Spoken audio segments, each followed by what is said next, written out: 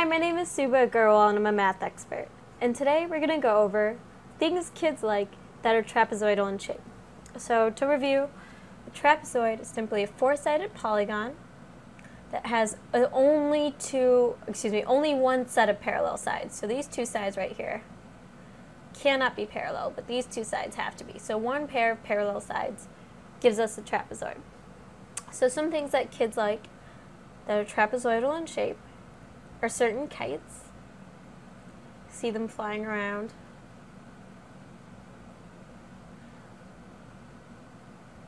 Other things that are trapezoidal in shape that kids can recognize is if they play Donkey Kong, uh, when you go through a mine, you're dropped into a mining crate that moves along a railroad.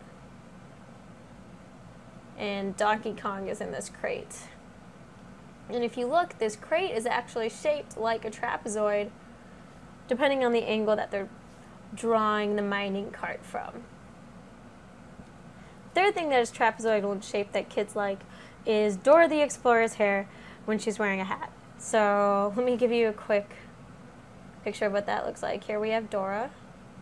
We have her hair. If she's wearing a hat, which she does sometimes, it makes her hair, if you look right here, shaped like a trapezoid. And these are things kids like that are shaped like trapezoids. My name is Suba Gurwal, and thank you for taking an interest in math.